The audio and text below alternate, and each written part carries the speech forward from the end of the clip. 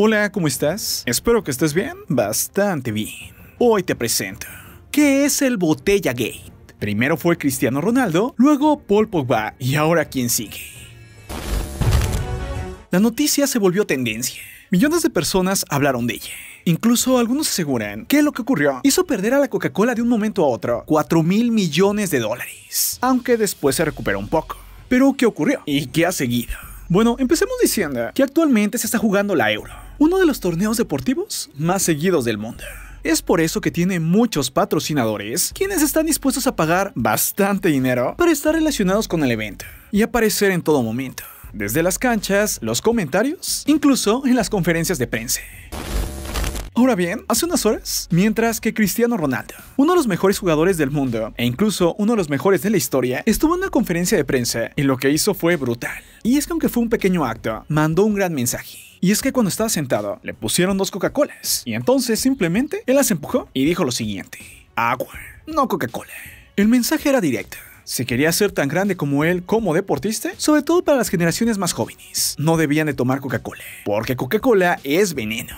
Increíblemente, ya sea que esté relacionado o no lo esté, casualmente poco tiempo después, la Coca-Cola cayó en la bolsa 4 mil millones de dólares. Digo, para una empresa que vale tanto dinero, 4 mil es un pequeño porcentaje, pero aún así pareciera que le pegó. Pero esto solo fue el principio, ya que después el francés Paul Pogba sacó de una manera discreta una botella de cerveza de la marca Heineken, quien también es patrocinadora del evento. Esto puede ser porque el jugador francés es musulmán. Y la ley islámica prohíbe el consumo de intoxicantes, que es como definen las bebidas alcohólicas. Y es que para ellos el alcohol es el principal motivo de riñas, separaciones familiares y apatía religiosa. Algunos musulmanes creen que se puede tomar, pero bebidas con muy baja graduación, es decir, con muy poco alcohol, pero en general los musulmanes no lo consumen.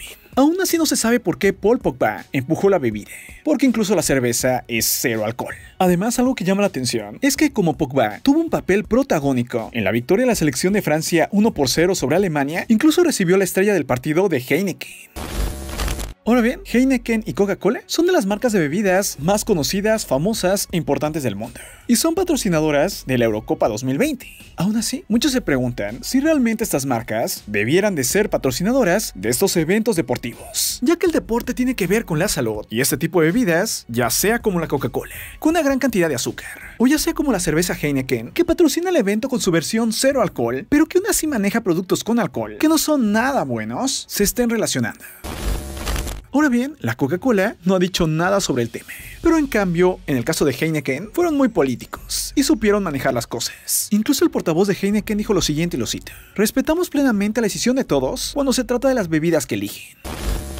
Ahora bien, si te preguntas qué tan mal es la Coca-Cola, bueno, estudios han comprobado que causa diversas enfermedades. Sobrepeso, obesidad, diabetes, cálculos renales, asma, descalcificación de los huesos, anemia, depresión, mala digestión, caries, incluso Alzheimer. Así tan mal es la Coca-Cola. ¿Y del alcohol? Bueno, de eso ni siquiera hablamos.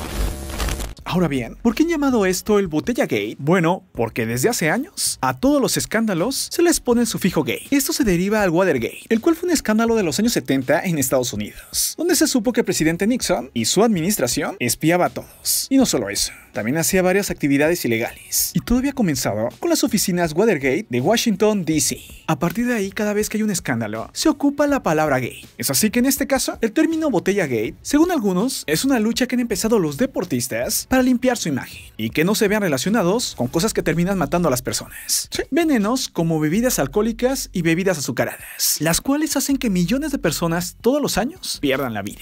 Ahora que tú ya conoces esta información, dime qué opinas. Déjame tu reflexión en la caja de comentarios, quiero leerle. Ahora sí, para que siempre estés bien informado, suscríbete ya a tu Cosmópolis tanto en YouTube como en Facebook. Además, conoce mi canal de curiosidades y datos inteligentes, tu Cosmópolis 2, y mi canal de misterio y horror llamado Archivos Miedo. Pero ten cuidado, es muy perturbador. Archivos Miedo. Yo soy Marco Antonio C.